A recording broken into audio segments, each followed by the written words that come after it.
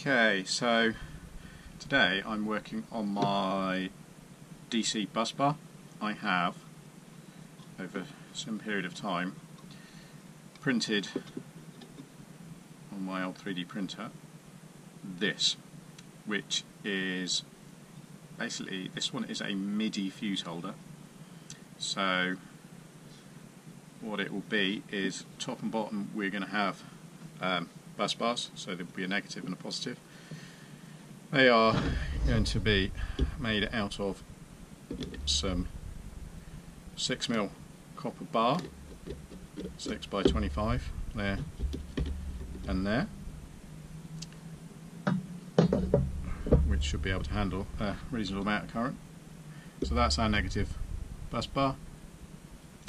This is our fuse okay, so we'll come from the bus bar here um, and these will be fuse terminals on here. So each one will take a fuse, there's four outputs.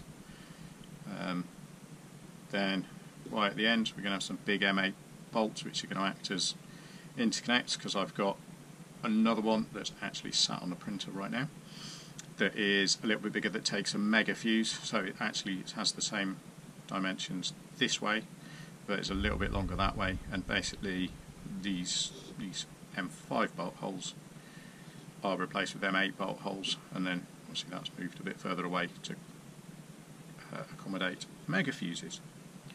So first thing I need to do is cut down the copper bus bars to fit in the little recesses that I've done and then we will be drilling and tapping all the holes within it and then we'll be able to fit um, brass bolts. So I've got uh, M8 and M5 uh, it's all brass hardware. Um, so yeah let's measure up the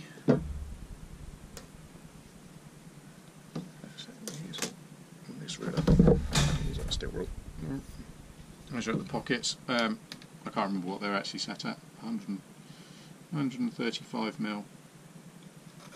Um, I think that's calculated basically based on spacing of everything. So it's not. That is all defined by the position of these bolt holes and the gaps between them, and then the two on the end and everything. So that's why I can actually tell you what it is. I've never actually set it. So.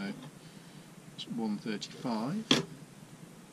So you get a trusty sharpie, and then you can transfer to that, and then.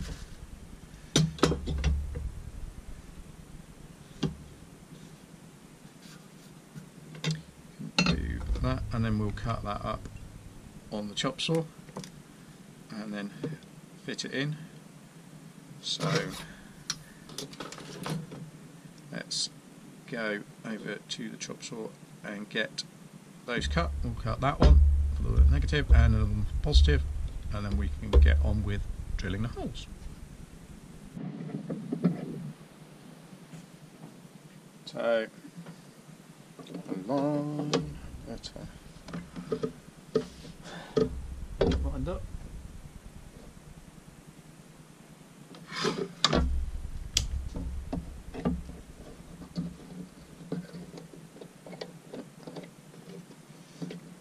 clamped in. Make sure it's all nice and square.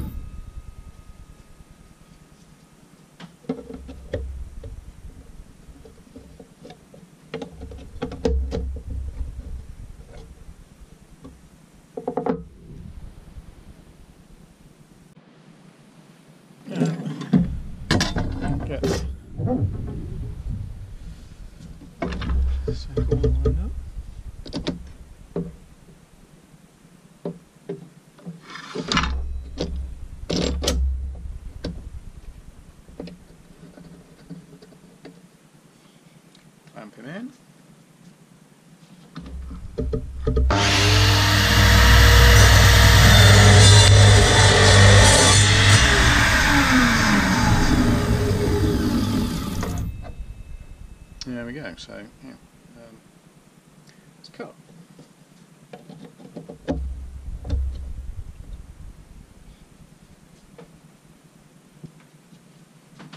So the uh, fuse link goes across like that and then take connections over. So what we obviously need to do now is drill and thread the six holes in each one for M8 and 8 M5. What I'm going to do is turn it upside down and uh, see we can use the holes in the holder, the plastic bit here, to mark out where all of the holes are. So I'm just going to drill through each one of those with a, a an 8mm drill bit and then 5mm drill bits. So, okay, so yeah, obviously line it up and then take it off hammer drill because nobody needs hammer drill. Literally just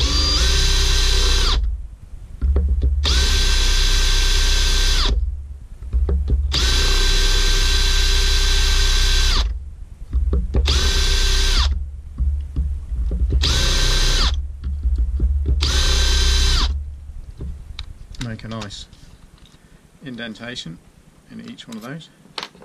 And then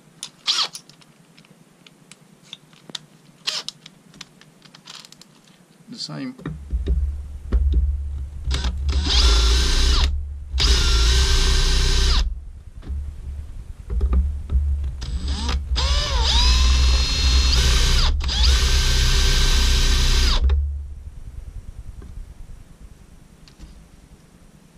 with the big holes. So, we've now got them marked up so we can take them over to the drill and drill them out and then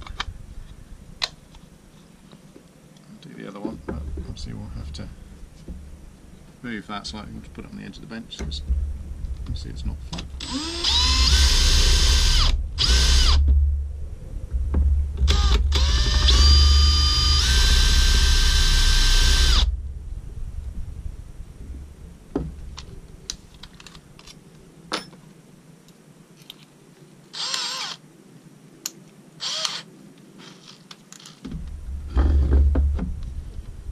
Again.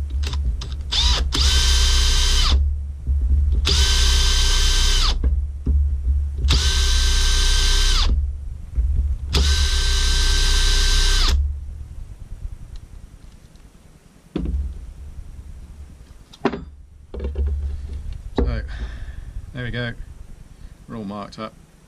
One's easy because these are all actually in a, in a straight line, the negative straight, whereas the positive are offset. So let's go and use the big drill and get these drilled out. Okay, so set up so we're going to use, because it's the right size for the 5, M5 is 4.2mm drill, apparently is the right size for the tap. So if we drill through with that, and then we can open up the M8. Let's see?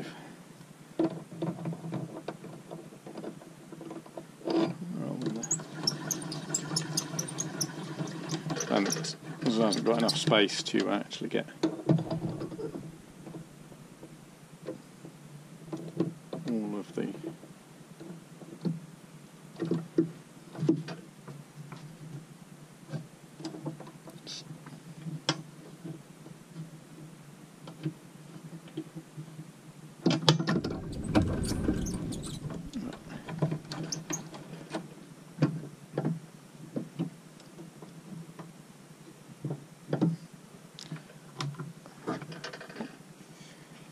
us check that's, that's tight. That's.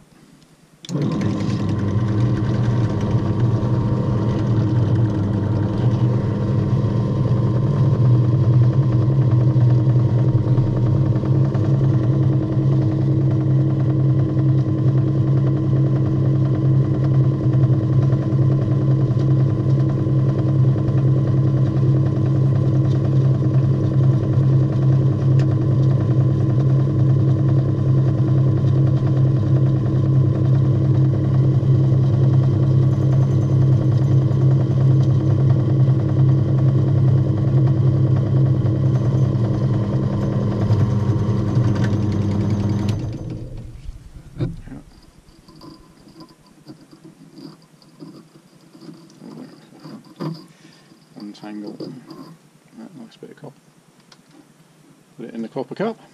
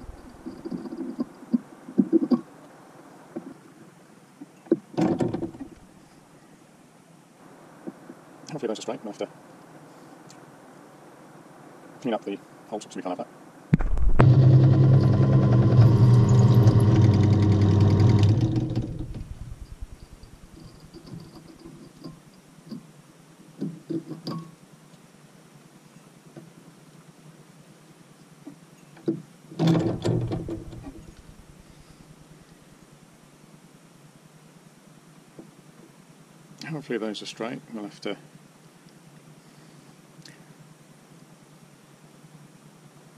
clean up the holes. Obviously we can't have that.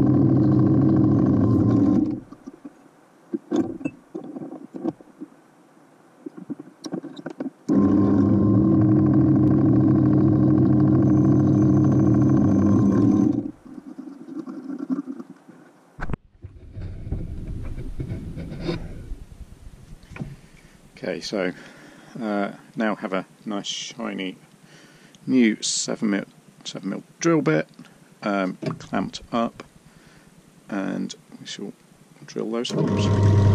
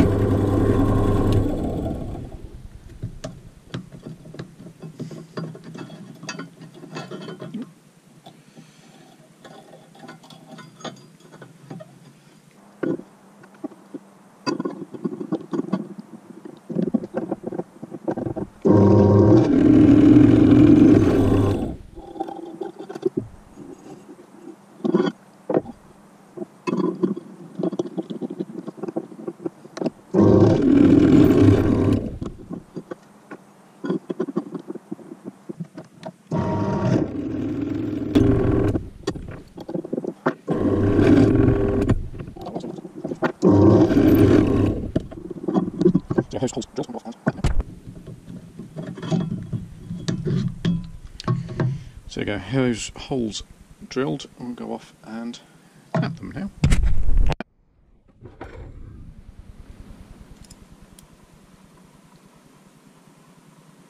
So, you have drilled out holes, it's time to tap them.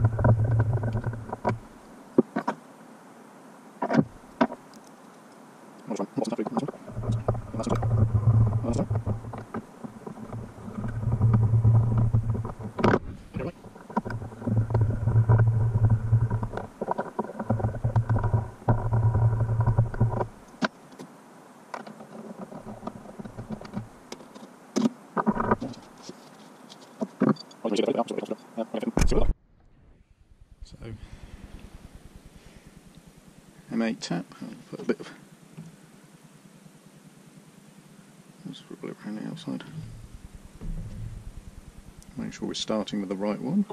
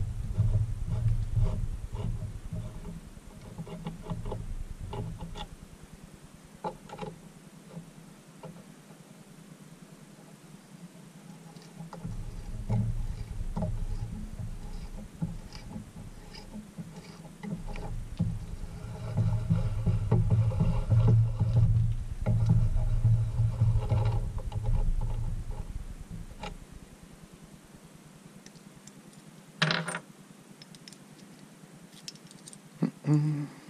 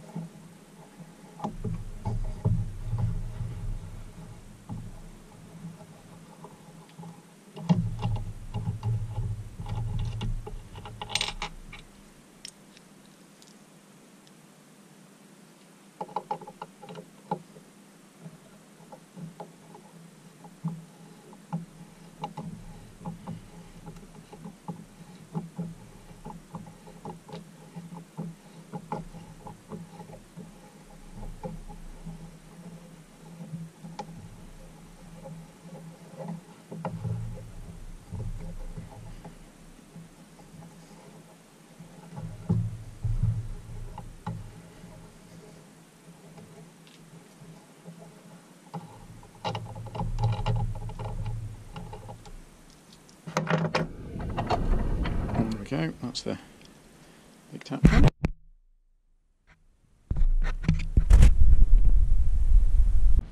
Okay, yeah, same down for people.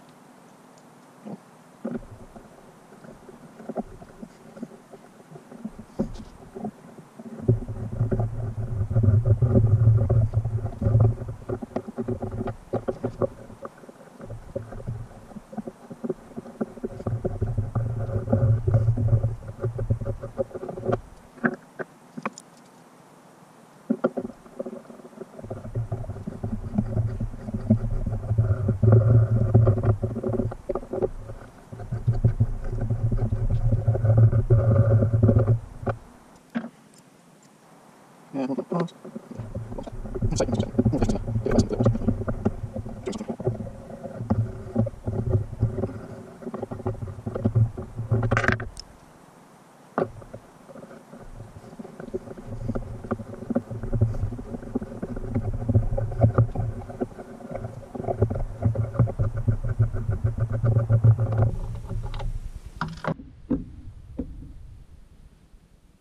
Okay, so back to mount our bus bars. Put them in there. And now obviously we have the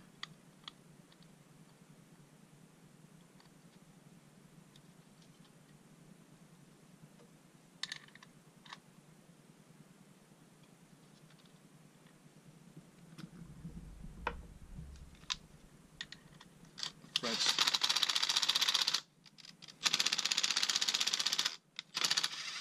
Not sure why that- I don't know why that's that should go in easier than that. I should Let's try that one. There you go. Must have Does it the threads in? Oh, maybe it doesn't. Let's just whack it through that way. a minute. Caught something in there.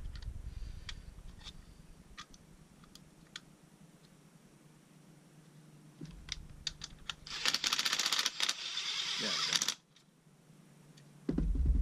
So that's our M8s in that one. And then this went in one way better than the other.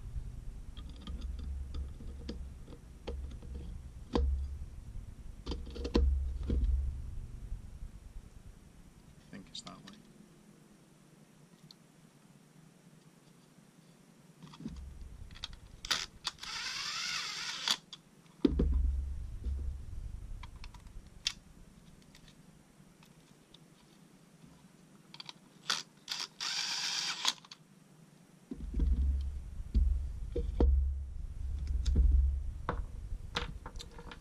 and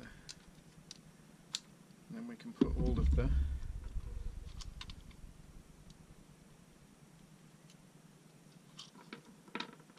M5 studs in.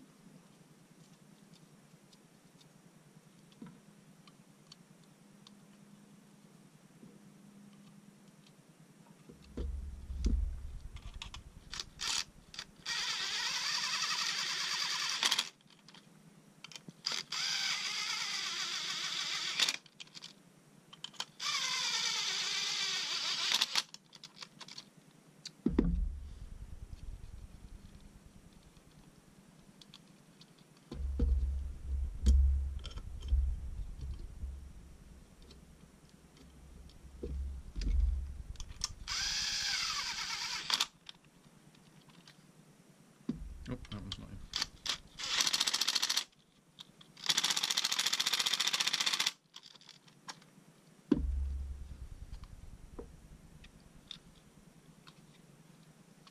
And then four left to go. And if you can spot the deliberate mistake, put this in upside down, so there's no holes to go.